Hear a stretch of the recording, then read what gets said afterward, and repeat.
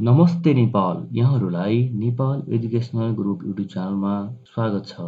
यस भिडियोमा most important derivation लिएर हामी आएका छौँ।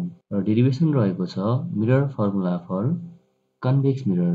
आउनुहोस् सुरु गरौँ।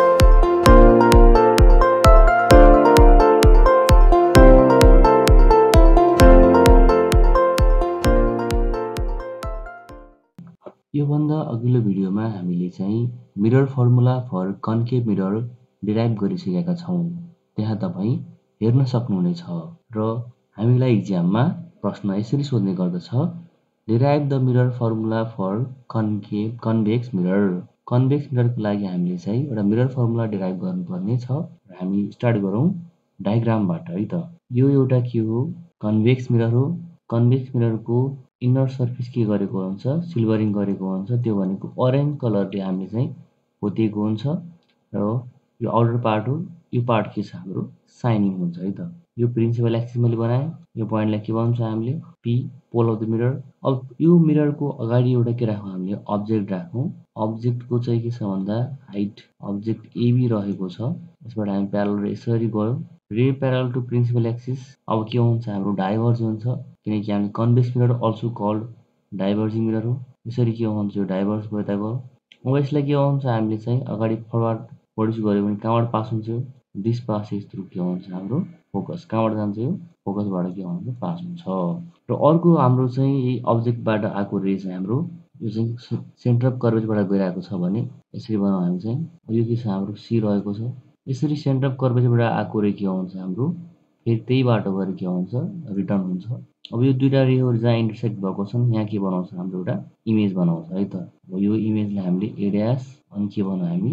बी ड्यास बनाउँ अब यस पछाडि हामीले एउटा कन्स्ट्रक्सन गर्नुपर्ने हुन्छ एउटा चाहिँ सिम्पली हाम्रो यो पोइन्टले हामीले एम भन्यो भने एमबाट के आउँछ हामीले यहाँ यसरी यहाँ एउटा हामीले चाहिँ पर्पेन्डिकुलर ड्र गऱ्यौँ एमएन पर्पेन्डिकुलर पछि हामी यहाँ ड्र गर्छौँ। यो त डायग्राम तयार भयो। हामीले एउटा कन्सिडर लेखौँ। Consider consider an object AB kept in front of convex mirror forms virtual image A dash B dash. Let U, V and F are object distance, image distance and focal length. Draw MN perpendicular PC draw गऱ्यो है त यहाँ के छ भन्दा हेर्नुहोस् है यहाँ हेयर दुईवटा ट्राइङ्गल के छन् हाम्रो सिमिलर छन् समरूप छन् triangle A dash B dash F similar triangle MNF होइन ट्राइङ्गल यस प्रकार ट्राइङ्गल यस्तो ट्राइङ्गल भएको छ. तपाईँ यहाँ देख्न सक्नुहुन्छ।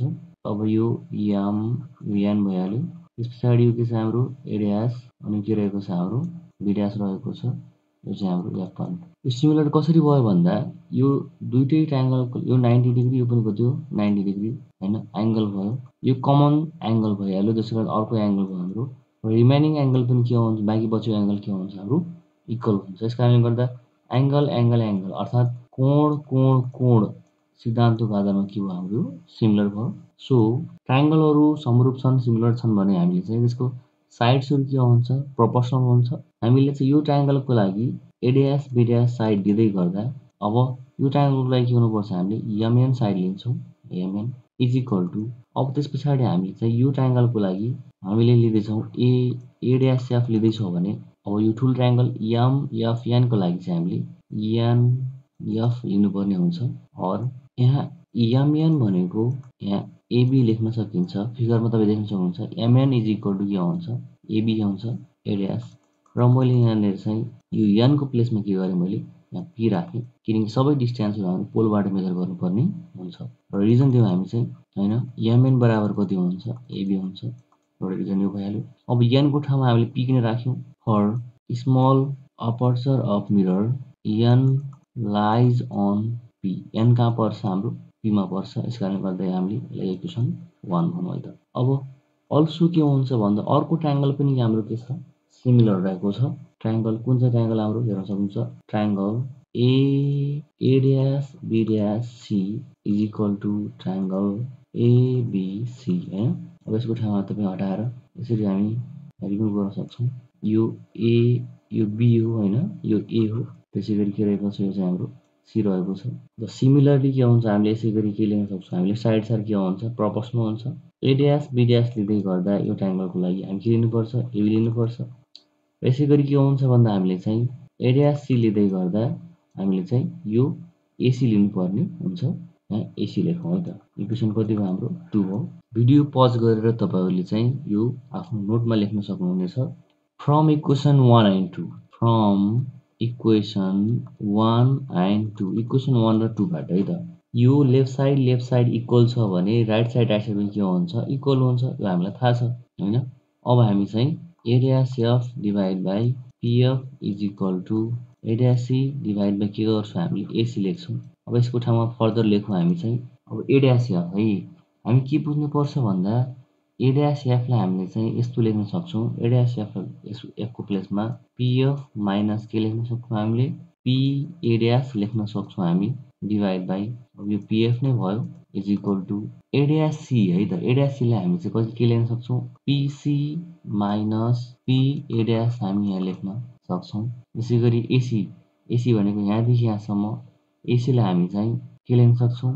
एपी प्लस पिसी लेख्न सक्छौँ। Applying sign convention sign convention apply गरौँ पिएफ पिएफ भनेको पोलदेखि फोकससम्मको होइन यसलाई भन्छौँ हामी फोकल लेन्थ भन्छौँ। पिएफ इज इक्वल टु कति हुन्छ? माइनस एफ किन? कन्केभ कन्केभ मिररको लागि फोकल लेन्थ के हुन्छ? सरी कन्भेक्सको लागि नेगेटिभ हुन्छ। त्यसै गरी P A dash P A dash is equal to के हुन्छ हेर्नुहोस् है? यो भनेको इमेजदेखि पोलसम्मको डिस्टेन्स हो। यो के हो? भर्चुअल इमेज छ होइन? त्यस कारणले गर्दा अब यसको ठाउँमा के लेख्न सक्छौँ हामीले चाहिँ? माइनस पी लेख्न सक्छौँ। बिङ भर्चुअल इमेज डिस्टेन्स होइन? त्यस पछाडि अर्को ठाउँमा हामीले चाहिँ अब पिसी पिसीको ठाउँमा के लेख्न सक्छौँ हामीले? पीदेखि सीसम्म पीदेखि एफ भनेको के हुन्छ? यो फोकल लेन्थ हुन्छ। जति distance PF is equal to के हुन्छ? एफसी हुन्छ भने पछाडि। अब पिएफ पनि एफ भइहाल्यो। अनि एफसी कति हुन्छ? Small F. एफ र एफ जोड्दा कति हुन्छ? टु एफ हुन्छ। तर हाम्रो कुन चाहिँ मिरर हो? कन्केभ कन्भेक्स मिरर हो? यस कारणले गर्दा के आउँछ यो पनि नेगेटिभ हुन्छ होइन?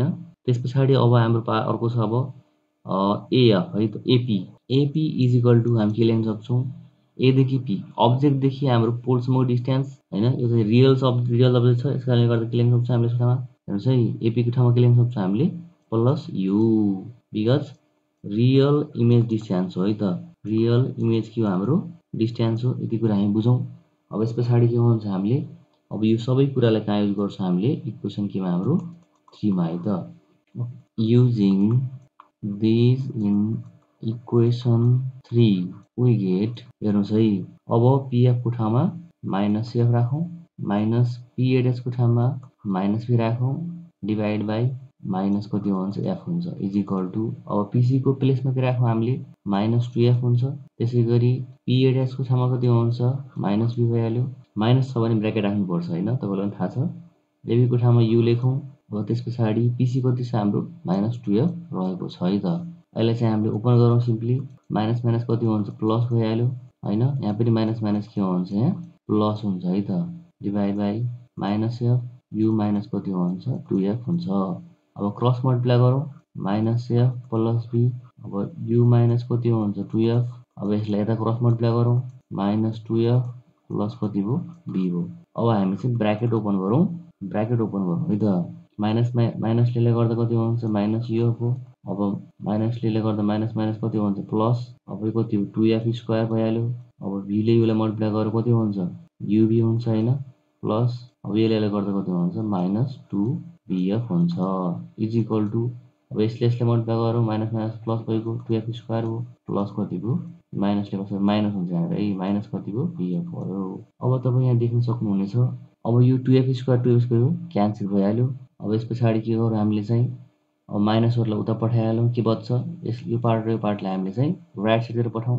यो बिज टु के हुन्छ माइनस बिएफ अब यो टु बिएफ भइहाल्यो त्यस पछाडि प्लस कति हुन्छ युएफ हुन्छ।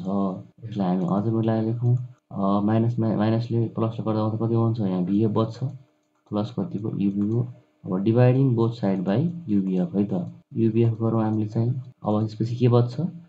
One by F is equal to one by U plus कति हुन्छ? वान बाई बी हुन्छ। हो दिस इज द के हुन्छ। रिक्वायर्ड मिरर फर्मुला यदि तपाईँहरूलाई भिडियो मन परेको छ भने आफ्ना साथीहरू माझ सेयर गर्नुहोला